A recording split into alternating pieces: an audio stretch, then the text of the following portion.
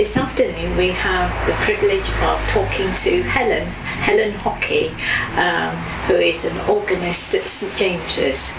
Um, Helen, perhaps you'd like to tell us um, how you started um, playing the organ originally. Well, I was lucky enough to go to a school where we had an organ in the hall. And my piano mistress asked me if I'd like to learn the organ, and I thought it was a good idea and I was about 14, 15 then. Um, I carried on after I left school having lessons, but unfortunately, I took on an organist job because I needed to have a church to practice. Uh, before that, my father had to pay blowing fees in the various churches. You had um, bellows organs? Oh, yeah, but I mean, it was electric, but you had to pay half a crown an hour to use a decent organ. So when I left school, he said, well, you're on your own, which is you know, fair enough. Um, but getting an organist job meant that I had commitments. Two services at least on a Sunday, choir practice. I also had work. I also had boyfriends. So dancing, etc. You know, so I kept the organ job on, but stopped having the lessons.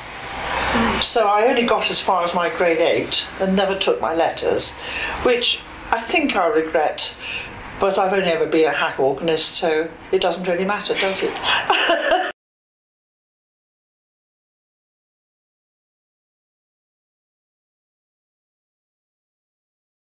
well, uh, I lived at Rowlands Castle for a long time and I had to sell my house and was going to move over here.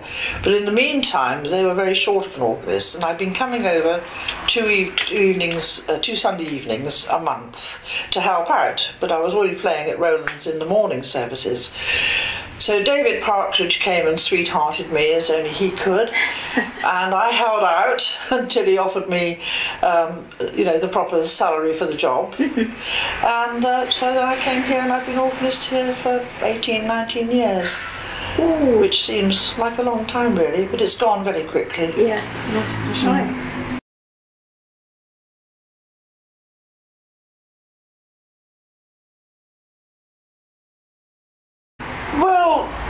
years, I, I mean, the very first organ I played was a little church, a little village organ, where I had a very strapping lad be the blower. And at times like harvest, uh, he would say he was only going to do two verses. Well, even We Plough the Fields and Scatter has three. So there'd be a lot of whispering during the sermon on negotiating how many polo mints would equal the last verse. and of course, he then got clever and upped the ante. Um, so it was a packet of polos per service, you know. It was um, so it's very different from organs now because the only other organ I know around here that can be hand pumped is the one at um, uh, Stansted Chapel, which is electrified. It's a little um, uh, chamber organ. Mm-hmm. It's electrified, but in fact it does have a hand pump. And um, a very good friend of mine's daughter was getting married there, and her fiance was, well, to say he was uppity is being nice about him. And he'd been vaguely rude to my friend, very arrogant, and they were getting married there. So I said, would he be kind enough to help? With the organ because I needed a, someone to blow it. And I had all the stops out. I did as much as I could. I had him really thumping away on this. And then I said, perhaps you'd like to go downstairs and listen to it now, Paul. And switch the switch on. And we've never had any trouble with him since. it was hilarious because it is quite hard work. Oh, You've got to get steam up and keep it up. Yeah. But uh, that was nastiness, but it was fun. Mm. But now they're all electric, and if they don't work, if the electric is off, the organ is off.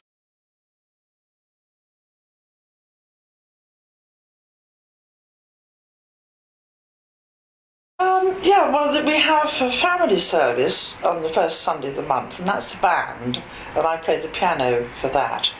And we have a sung communion in the evening of the first, and then it's just ordinary communion, you know, sung Eucharist we only have one evening service a month now, which is um, quite different from how it used to be. When I started, it was two, if not three services a day. Uh, you sometimes had a Sun Communion followed by Matins and an evensong. Do you not have a harvest festival there? Oh, we have Harvest Festival, yes, but it's not it's not as big here as in more rural. We have tins of stuff. The children all bring tins, which is much more practical. But doesn't It's have that lovely smell of leeks and onions and The- rotten the cabbage. marrow That's right. We do we do have those, just a few, but it's basically the children all bring tins, and, and it's held on now on a family service. Um, in the evening, we tend to. Um, you know, sing something a bit harvesty. Well, we always sing "We Plough the Fields and Scatter," but um, it's it's not the sort of festival that you and I would remember it as, as being loads and loads of apples and everybody bought produce. Now it's more stuff that can be distributed cleanly. I suppose it's, or perhaps it doesn't because human nature doesn't change, but years and years ago, the old ladies who used to get boxes of the produce and some of the flowers used to compare what, which boxes they'd had and moan. um, at Rowlands Castle, we used to send most of our produce to um, St Petrock's, which is a what was a home for old old men or men, you know, men of the road who had come in, um, and that was quite good. And we'd also send loads of jerseys and things like that down, so it was a proper, you know, before the winter. Yes. Um, but these huge vegetables look lovely, but you do need to have a lot of people to eat. Huge, a huge leek, don't you? Pat Carter, who has won many prizes, she always donated prime huge vegetables for St John's, and I did ask her one year to give me stuff for here, um, but uh, I haven't kept it up since because, I, you know, well, it's one of those things, isn't it?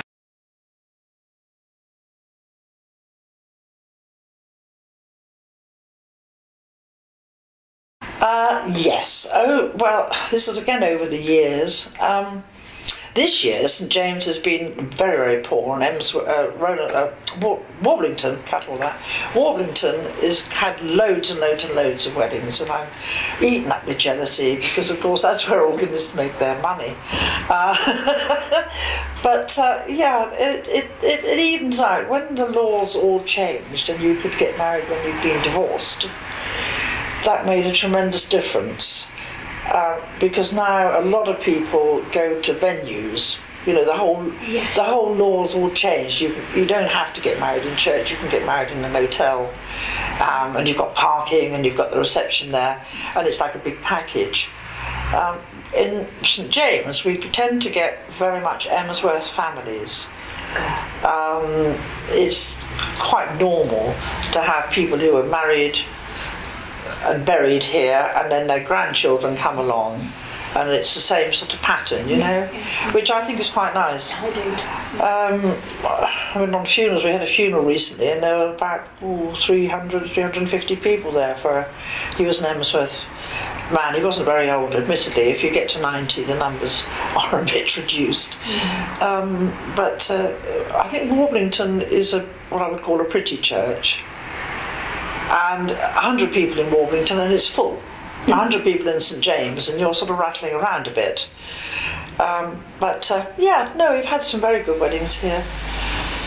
Uh, I always smile when the bride is given away by a son who's about seven, I think now. and things have changed dramatically on dresses, of course.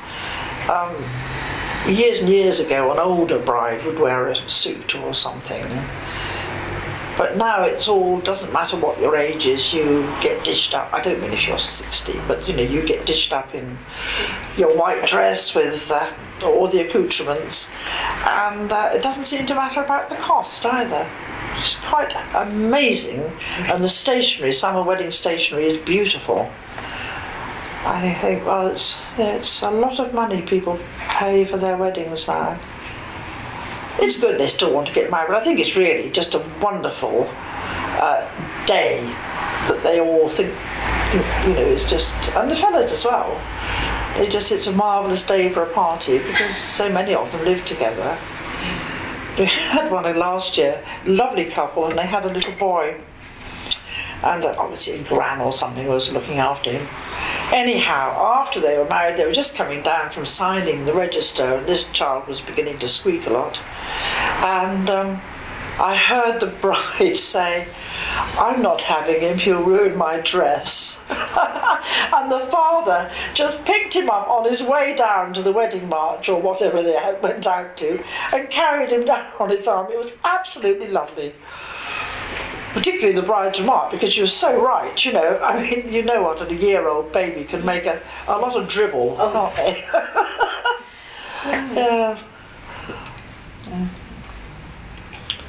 Weddings can be quite a lot of hard work because sometimes the happy couple want you to play just about everything that's appropriate.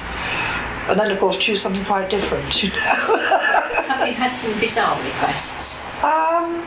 Really. I, I think the biggest, if you want to change from when I started, um, the biggest change is the lack of hymns.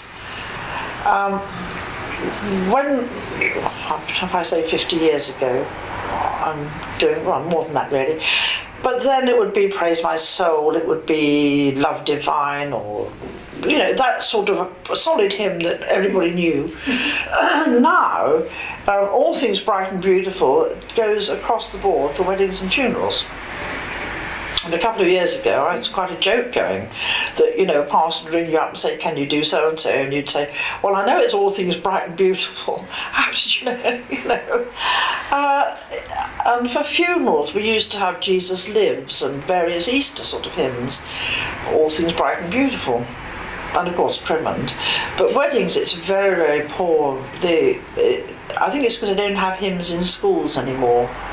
And so you'll have I danced in the morning, which actually is quite a hard hymn to sing, you know, the Shakers tune. Mm-hmm. Um, and have Give Me Joy. Well, that's okay, but it's very lightweight and Shine Jesus Shine.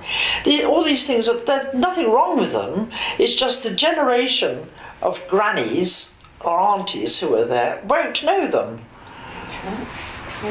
Because they're all from the, from the last, you know, if the bride's under 30, we'll say, I think it's probably uh, that sort of era. I mean, my children were, still had hymns and they're in their 40s.